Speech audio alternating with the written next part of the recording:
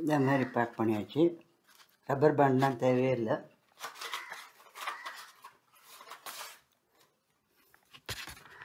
ரெண்டு பேக்கெட்டில் இந்த மாதிரி போட்டாச்சு.